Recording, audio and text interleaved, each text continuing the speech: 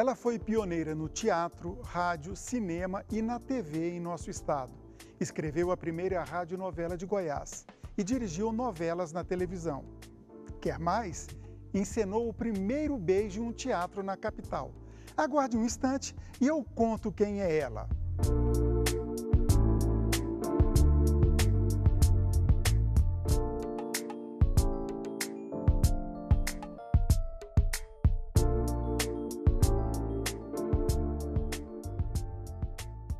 A nossa personagem de hoje é Floraci Alves Pinheiro, ou simplesmente Cici Pinheiro. E quem vai falar sobre a vida e obra dela é o sobrinho e filho adotivo, o jornalista Antenor Pinheiro. Antenor, tudo bom? Tudo bem. Prazer ter você aqui para falar de uma pessoa tão ilustre na cultura de Goiás, que foi a Cici Pinheiro. Antes da gente falar da carreira dela, sobrinho e filho adotivo, explica para o telespectador. Eu tive a oportunidade, o prestígio de ser criado por Cici Pinheiro e a minha avó, Julieta. Né? E elas é que me deram a formação, a mim e aos meus irmãos. Me deu a formação, me deu amor, me deu caráter e a ousadia e a coragem para lidar com a vida. Você já citou a sua avó, Julieta. Qual foi a influência dela lá em Orizona, né, a terra de Cici Pinheiro, para que Cici viesse para Goiânia trabalhar com teatro? A minha avó deu a, a oportunidade da, da minha tia Cici em descobrir o teatro, ela e tia Mimi Pinheiro. E logo que entenderam a importância e assimilaram a importância do teatro, vieram para Goiânia para iniciar a sua atividade cênica. Né? E logo aos 20 anos de idade, Cici Pinheiro já estrelava aqui a sua primeira peça de teatro na gremiação goiana do Teatro AGT, hoje Teatro Inacabado, com a peça Vila Rica, em 1949. Você citou a GT, remete a Otavinho Arantes, um dos percussores do teatro em Goiânia, né? Qual foi a relação dela com ele? Ele foi um, um guru, um mestre? Como é que foi? Recepcionou muito bem, entusiasmado por se tratar de uma mulher, não é? Muito raro nessa época, porque fazer teatro hoje ainda é muito difícil. Na década de 50, os preconceitos eram quase que intransponíveis. E ele enxergou na Cici Pinheiro uma ousadia, uma, uma mulher inovadora, uma mulher cheia de energia e com competência para exercer essa atividade de atriz. Anos 50, mais ou menos? Início dos anos 50. Ok, Goiânia era uma cidade, eu vou chutar aqui, com 60 mil, 70 mil habitantes no máximo. Como foi para ela, uma moça jovem ainda, vinda do interior, enfrentar tudo isso e principalmente o machismo da época. É por isso que ela achou Goiânia muito pequena. Por isso foi para São Paulo. Ela e Mimi Pinheiro, Cici Pinheiro e Mimi Pinheiro foram para São Paulo, onde ela se inscreveu num concurso do Teatro Brasileiro de Comédia e tirou em primeiro lugar como atriz. E olha que era uma banca examinadora digna, com Cacilda Becker julgando, com Zbigniew Zimbinski julgando. Tirou em primeiro lugar e ali ficou né, para dar continuidade na sua exitosa carreira, encenando com grandes atores brasileiros, dentre eles Raul Cortez, Valmor Chagas, Rolando Boldrin e por aí vai. Quer dizer, você citou essa banca examinadora do Zimbisky e da Cacilda, Cacilda Becker. Becker, que são grandes nomes do teatro brasileiro, Isso. do teatro moderno brasileiro. Ela conviveu, então, com, com essas pessoas? Não só conviveu, como estabeleceu uma grande amizade. De sorte até mesmo a essas pessoas é, sugerirem a ela, ao retorno dela para Goiânia, sugerirem a ela que se criasse uma alternativa ao eixo Rio-São Paulo para que se fizesse teatro no centro-oeste de, de Goiás. Então eles continuaram motivando, já que ela não quis ficar em São Paulo e apenas Mimi Pinheiro ficou em São Paulo, também uma excelente, extraordinária atriz, eles entenderam que seria importante estimular não é, um novo eixo cultural no Brasil a partir da experiência acumulada de Cici Pinheiro. Sim, mas ela voltou para Goiânia com essa missão ou bateu aquela saudade típica do goiano que vai embora e quer voltar para casa? Ela voltou e encenou uma peça muito importante, né, Deslumbramento, que culminou no primeiro beijo ao vivo do teatro. Né? Isso, de certa forma, acendeu a atenção dos organismos policiais, inclusive. Né? Ela foi é, investigada, ela foi intimada a comparecer na delegacia para explicar por que razão havia dado um beijo ao vivo né, em público no Teatro de Goiânia. Pera, deixa eu entender essa história. E o homem que contracenou, deu o um beijo com ela, foi chamado também para depor? William, também. William Ayer. Era um ator famoso? Um ator, não, que... daqui da, da, terra mesmo, né? Então isso já mostrava a ousadia, né? Do, o seu ímpeto artístico, a sua vontade de inovar e de quebrar barreiras, de superar preconceitos. E ela chegou a dar entrevistas, depoimentos para trabalhos acadêmicos, dizendo que ela sofreu preconceito, chegou a ser chamada de prostituta, as pessoas virarem a cara para ela em, em eventos sociais. Fui taxada como prostituta. Eu não tinha ambiente em Goiânia depois do beijo. Tanto é que até hoje eu não sou muito de sair de casa nem visitar pessoas. Um dia eu fui representando a família em uma festa e percebi que quando eu entrei, bateu um baita mal-estar no pessoal do tipo: é ela, ela que beijou, essa biscate não vale nada. Eu nunca liguei para isso, eu nunca dei bola mesmo, mas eu achava chato. Então voltei para São Paulo. Isso era muito normal, né? Nós éramos vítimas de um grande preconceito. O teatro até hoje ainda sofre esse problema.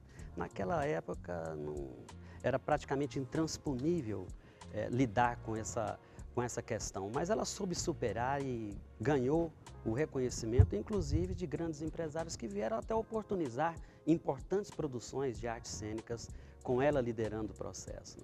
Passando agora para a fase do rádio.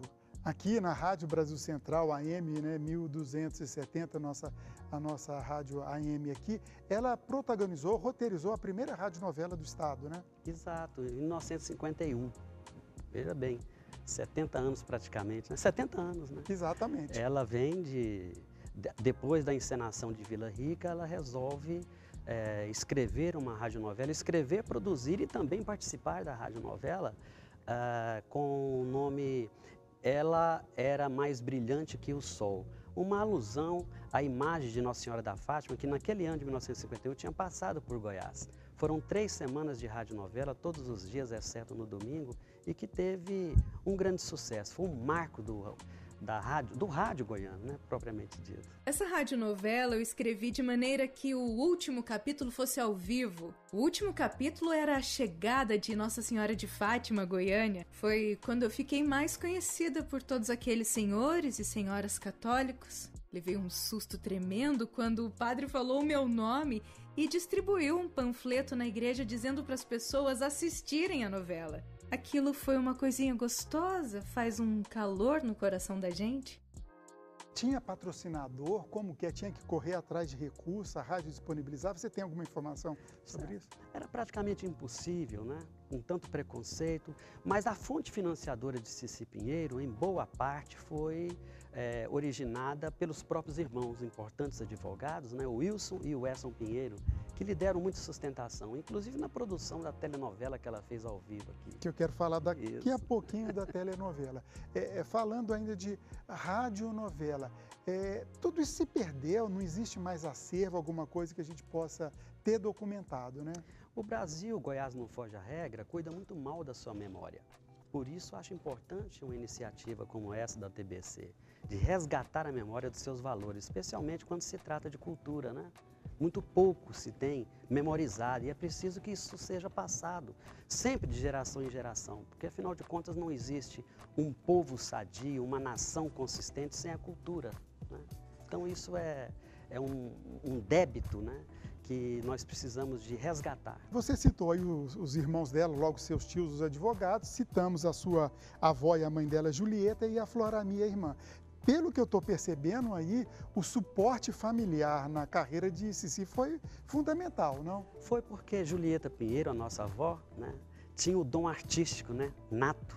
E ela ensinou isso a Cici, a Mimi Pinheiro, principalmente nessas duas, a, a importância da arte na vida de uma pessoa. Então ela teve todo o suporte familiar para isso. E quer dizer que a formação de Cici foi toda em casa, ela não estudou, não passou por reformatório? Não, autodidata, né?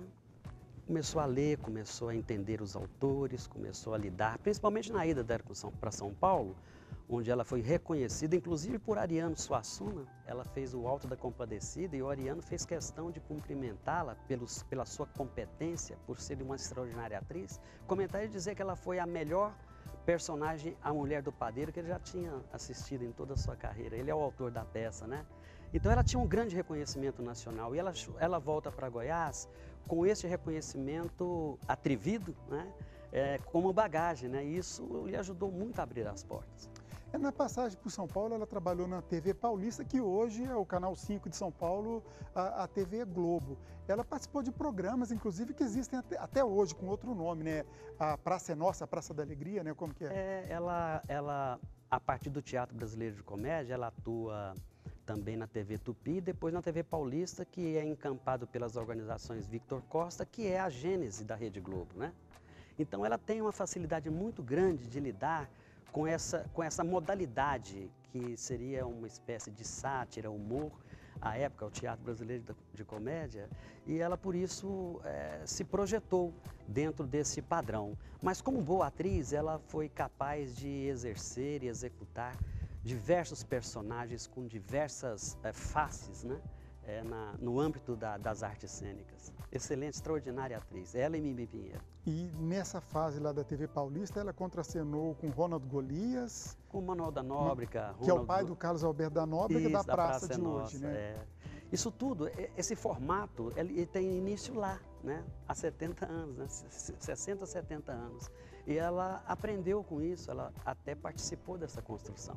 Falando de TV, mas já aqui em Goiás, Conta aí, que história maluca essa que muito jovem não tem a menor ideia. Novela produzida em Goiânia, lá na TVA em Anguera, quando a sede era na Avenida Goiás, com a Rua 8 e ao vivo. Como é que foi isso? É, não havia os recursos tecnológicos de gravação em videotape, essas coisas, né? Então ela, ela a partir de uma obra de A.J. Cronin, um escritor inglês, é, o, o, homem, o Homem Mal do Castelo, né, ela fez uma adaptação para novela, a Família Brode, né, uma novela de, com a duração de seis semanas e que era feita ao vivo. Até uma tempestade foi feito por jatos d'água do Corpo de Bombeiros de Goiás, né? ao vivo na Rua 8 ali. Foi uma experiência extraordinária, digo que além de inusitada, digo que revolucionária para aqueles padrões daquela época. E parece que teve beijo dessa novela, né? Teve. Aí já não teve mais problema. Não, não teve. Mas uma obra que está ainda a, a merecer uma atenção maior dos pesquisadores. Pena que houve um incêndio na TV Anguera à época e levou grande parte dos documentos né, relacionados a, a elaboração e execução desta obra. Ela tentou realizar o primeiro longa-metragem de ficção em Goiás, mas não obteve êxito. Como é que foi essa história? Foi em 1966. Ela pega uma obra de Bernardo Guimarães, lá do século XIX, e adaptou para um filme chamado O Ermitão do Muquem, que tem como pano de fundo a Romaria de Muquem, né? E ela, infelizmente, não teve o patrocínio, o apoio governamental para poder levar adiante. Foi a partir daí, inclusive, que ela começou a revelar grandes artistas nacionais, François Furton, Oswaldo Mesquita, que são globais, e também até Stefano Ercecian, que também é uma cria dela. Foi e é ela é goiano, que lançou. Né? Como é daqui da Vila Operária, né? O Mesquita também é goiano. Também, né? também, goiano, né? E Magda Santos também, né? Importante, excelente atriz. Enfim, ela foi uma, também uma caçadora e reveladora de talentos. Qual que era a relação profissional dela com João Beni, outro grande nome do cinema em Goiás? Eles fizeram projetos juntos? Fizeram um grande amigo, apoiador, trabalhava muito na área de cinema, foi por isso que ela também enveredou-se para essa, para essa área, estimulada por ele. Né? Eu entendo que Otavinho Arantes, João Bênice Pinheiro formam o triunvirato da cultura cênica do estado de Goiás.